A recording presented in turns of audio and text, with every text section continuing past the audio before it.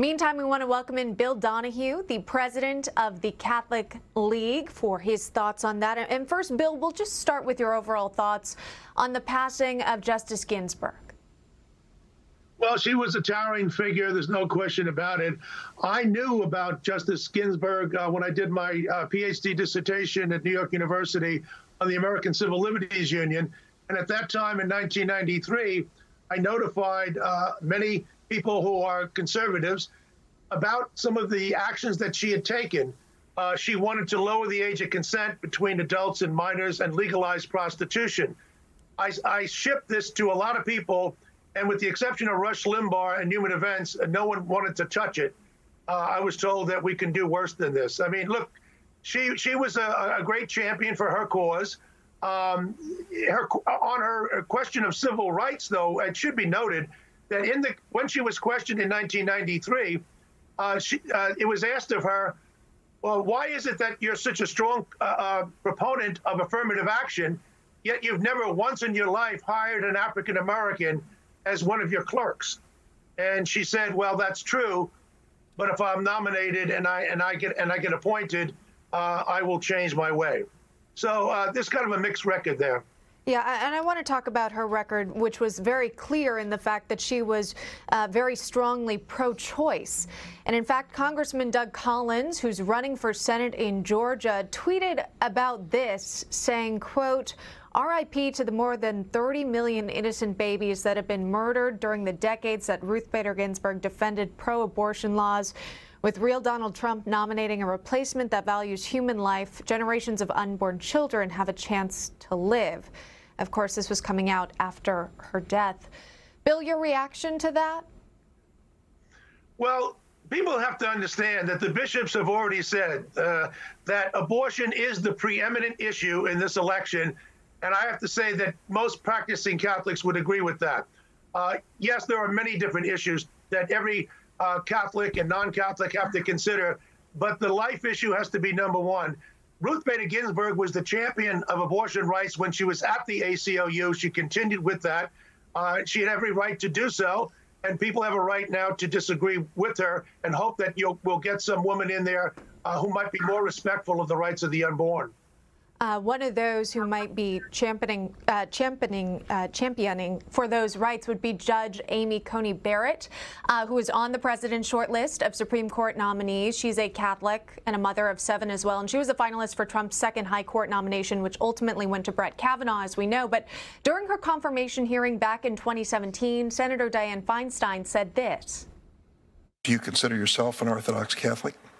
I am a Catholic, Senator Durbin. The dogma lives loudly within you. And that's of concern.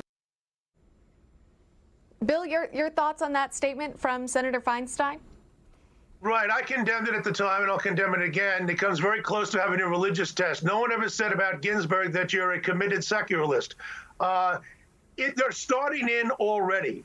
Newsmax viewers need to know that just this morning, the Telegraph out of England is flagging that uh, Trump is considering a quote devout Catholic. That's a red flag. We know that uh, Yahoo is already attacking. We've got the Religion News Service coming out now mentioning that she's a Catholic who uh, is very much like the other Catholic, Brett Kavanaugh. These are all red flags. It shouldn't matter whether you're a Catholic or, or Jewish or, or Muslim or, or whatever. If they want to ask about your values, they should. That's entirely legitimate. But this is a game that was played before, and if they want to play it again, if this woman were uh, to be nominated by President Trump, uh, the Catholic League and others will call uh, attention to the rank anti-Catholic bigotry of Senator Feinstein and many others.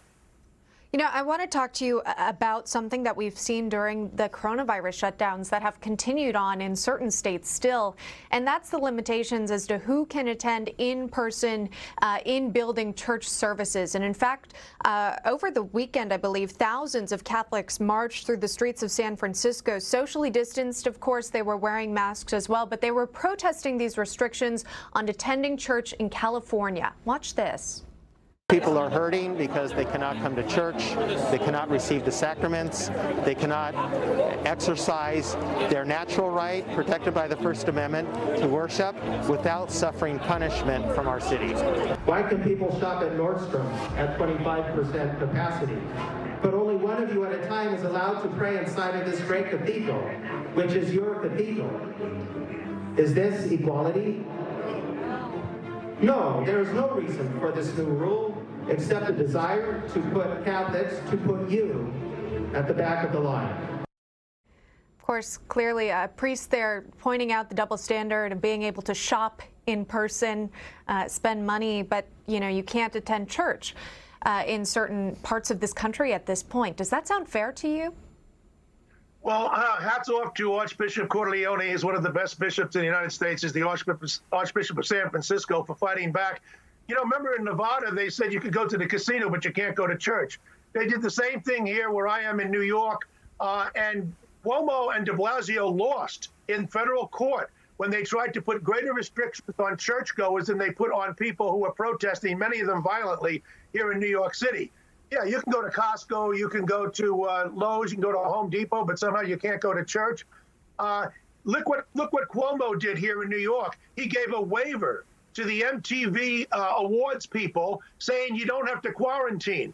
You know, when the elites do this, we know what a sham it is. That they're playing politics, that they're invoking these restrictions on churchgoers because they have an animus against religious liberty, and that's really what's driving this. De Blasio said you you can't protest uh, in the streets for anything you feel like it. But if you want to protest against racial injustice, because he agrees with that agenda, you can do so. And of course, you can do so violently. I live in New York, and I'm right here on 34th and 7th, across the street from Madison Square Garden and Penn Station. Everything is boarded up. It's it's a mess in New York because of what's happened, and yet people can't go to church. Yeah. I uh, want to talk to you about this new poll that came out. President Trump has been gaining support among evangelicals and Catholics, but this new number from Fox News shows that the president out front by a wide margin. Of course, President Trump 66%, Joe Biden 28% with the evangelical support. What do you make of those numbers? Is that surprising to you? No, I mean, uh, Trump did very well with evangelicals and Catholics uh, in 16. He won 52% of the uh, Catholic vote and, and greater numbers amongst evangelicals. I think the thing that's really interesting is that if you look at Catholics, you've got to disaggregate between those who are practicing Catholics and those who are not. If you're not a practicing Catholic, your views are very similar to the non-church goers, the secularists. But if you're if you're a church goer, uh, then you tend to put the life issues, as the bishops have correctly said, as number one and that obviously tilts them more towards Trump. Joe Biden is a Catholic and and uh, Trump is a, a Protestant. However, when it comes to religious liberty and when it comes to abortion, Joe Biden wants to repeal the Hyde Amendment, which he used to support, which deals with the federal funding of abortion. He wants the taxpayers to pay for someone's abortion, both at home and abroad. He wants to repeal the Helms Amendment, whereas uh, President Trump, of course, does believe in the rights of the unborn. So, so if you're a practicing Catholic, or for that matter, of any religion, and you you make the uh, life issue uh, the preeminent one, as the bishops have said, uh, that would account for the strong support uh, going to Donald Trump. All right, Bill Donohue joining us live this morning. Bill, thank you so much for your time. We appreciate it. Thank you so much. Newsmax TV is now America's fastest growing cable news channel. We give you the real news you need. So subscribe to our YouTube channel and give us a thumbs up. If you like this video, share it with your friends. Newsmax TV streams live on YouTube for free. Newsmax TV, real news for real people.